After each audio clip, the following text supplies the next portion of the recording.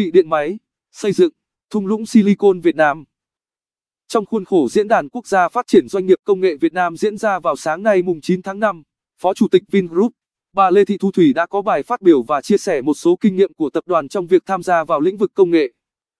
Bà Thủy cho biết, bài chia sẻ của bà với mong muốn cùng các doanh nghiệp khác góp phần thúc đẩy quá trình chuyển đổi số trong nước, tạo ra sự đột phá cho nền kinh tế Việt Nam.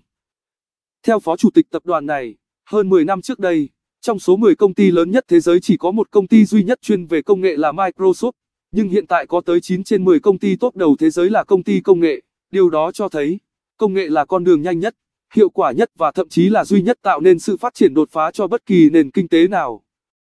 Do đó, từ tháng 8 năm 2018, Vingroup đã chính thức công bố chuyển đổi mô hình phát triển với ba trụ cột chính là công nghệ, công nghiệp và thương mại dịch vụ, tiến tới trở thành một tập đoàn công nghệ hàng đầu khu vực trong vòng 10 năm tới. Xác định đây vừa là tương lai của doanh nghiệp, vừa là trách nhiệm góp phần vào sự hưng thịnh của đất nước, bà Thủy nói.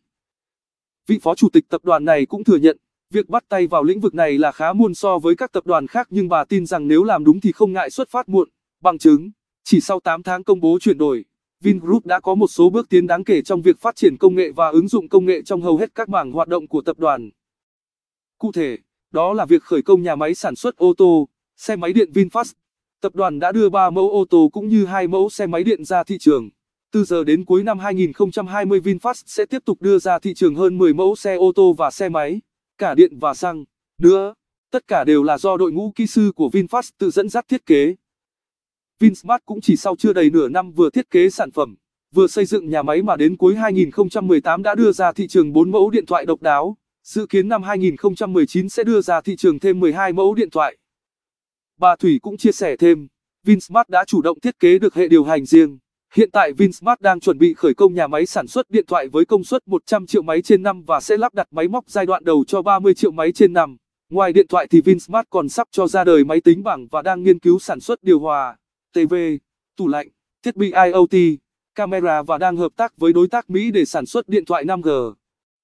Ngoài ra, một lĩnh vực khác mà tập đoàn này đang triển khai và Ba Thủy rất tâm đắc đó là dự án do ông Trương Quốc Hùng, giám đốc viện Vinbrain, thuộc Vintech, nguyên là lãnh đạo cao cấp của Google đang đảm nhiệm với chủ đề là trợ lý bác sĩ.